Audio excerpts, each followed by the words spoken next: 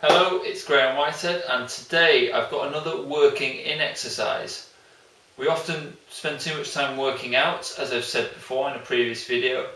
You know, working out such as cycling, playing your favourite sport or even running, anything that essentially expends energy. So the exercise I'm going to show you today will help you accumulate energy and it's something simple you can do at your own house um, and it's, it's really simple to do to help you balance what I call those biological oscillators, which are the three electric charges in your body.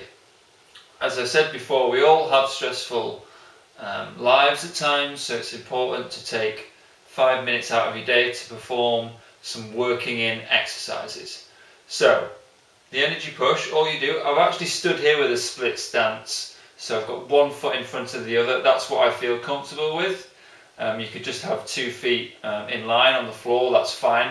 But all you're going to do is you're going to breathe in as you bring your hands towards you and then you're going to push away as you exhale. You're going to breathe in and exhale. Breathe in and exhale. And breathe in and breathe out you want to keep your breathing in line with your movement as you're doing it. So, and breathe out.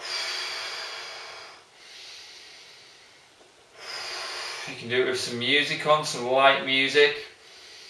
And close your eyes as well when you're doing it if you like.